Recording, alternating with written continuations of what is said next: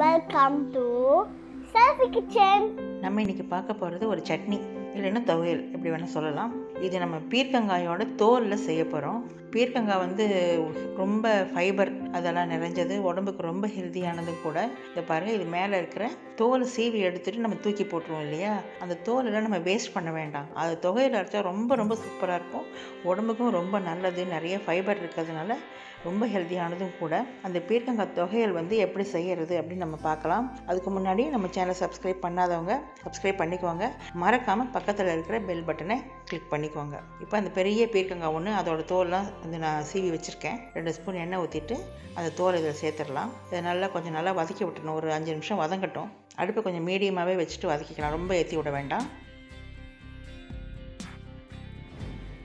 ஒரு மூணு கைப்பிடி அளவுக்கு பெரிய வெங்காயம் சேர்த்துக்கலாம் அதில்.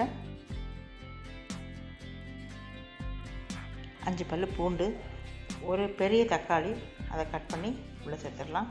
அதுவும் லேசாக வதக்கி விடலாத ஒரு நெல்லிக்காய் அளவுக்கு புளி சேர்த்துக்கலாம்.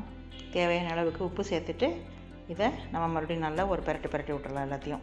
இது ஒரு மூடி போட்டு ஒரு அஞ்சு நிமிஷம் சிம்மில் விட்டுடலாம் அது உள்ளுக்குள்ளே இருக்கிற தக்காளியெல்லாம் நல்லா மசிஞ்சு வெந்துடும் அஞ்சு நிமிஷம் ஆச்சு. இப்போ பாருங்கள் திறந்து பார்த்தோம்னா அந்த தக்காளியெல்லாம் நல்லா வெந்திருக்கும். அந்த தோல் எல்லாமே வந்து நம்ம வதக்கி விட்டுறோம் இல்லையா? அது எல்லாமே இப்போ கொஞ்சம் சாஃப்டாக இருக்கும். நம்ம அரைக்கிறதுக்கு ரொம்ப வசதியாக இருக்கும். நம்ம இதை எடுத்து வச்சிடலாம். ஒரு நாலு ஸ்பூன் உளுத்தம்பருப்பு இதை ட்ரை ரோஸ்ட் பண்ண வேண்டாம். ஒரு கால் ஸ்பூன் எண்ணெய் சேர்த்துக்கலாம் அதில்.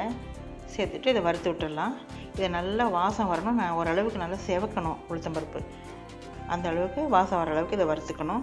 இது நல்லா செவந்ததுக்கு அப்புறம் ஒரு எட்டு காஞ்ச மிளகா அதில் சேர்த்து அதையும் சேர்த்து நான் கொஞ்சம் நம்ம வறுத்து எடுத்துக்கலாம். ரெண்டும் நல்லா வறுப்பட்ட உடனே எடுத்து ஆற வச்சிடலாம். இப்போ நம்ம வறுத்து வச்சுருக்கிற மிளகா உளுத்தம்பருப்பு அப்புறம் நம்ம ஏற்கனவே வ- வதக்கி வச்சுருக்கோம் இல்லையா?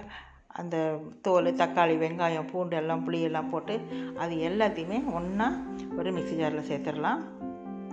தனித்தனியாக நம்ம சேர்க்க வேண்டியதில்லை எல்லாமே ஒன்றே ஒரே சமயத்தில் எல்லாத்தையும் ஒன்றா போட்டுடலாம். போட்டுட்டு இதை ஒரு அளவுக்கு ஒரு கோர்ஸான பேஸ்ட்டாக நம்ம அரைச்சிக்கணும். ரொம்ப நைஸாக விழுத அரைக்காமல் கொஞ்சம் பிறுபிறுன்னு இருக்கிற மாதிரி அரைச்சிட்டோம்னா தான் இது ரொம்ப நல்லா டேஸ்ட்டாக இருக்கும்.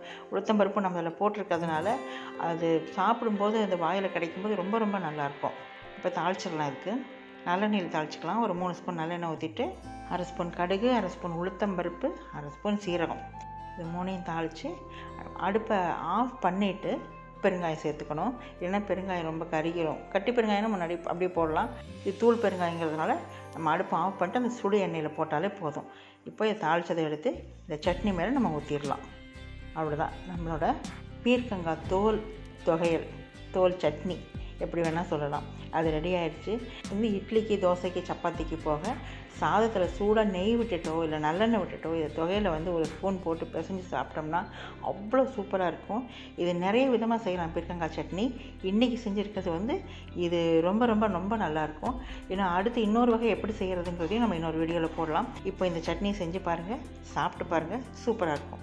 இந்த வீடியோ உங்களுக்கு பிடிச்சிருந்தா லைக் பண்ணுங்கள் ஷேர் பண்ணுங்கள் சப்ஸ்கிரைப் பண்ணுங்கள் தேங்க்யூ